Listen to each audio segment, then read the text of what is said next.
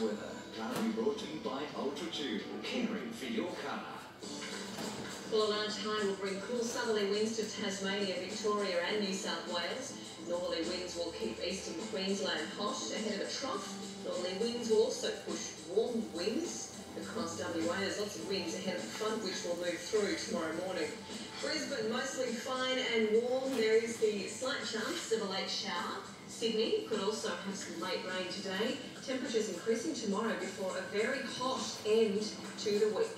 Now there'll be a morning shower in Melbourne, clearing to a fine afternoon. It'll be uh, flat tomorrow and Wednesday. Adelaide a morning shower, clearing to a fine afternoon. Cloudy tomorrow, but otherwise fine. Uh, Perth will be fine and warm. A trough through tomorrow, bringing showers and storms. Canberra will be fine, cool and partly cloudy. Couple of showers for Hobart. Darwin hot and dry. And Brett Fiona says Mark outside as well. Shaz on the Gold Coast, we feel your pain. I'm also a Geelong supporter. There's always next year.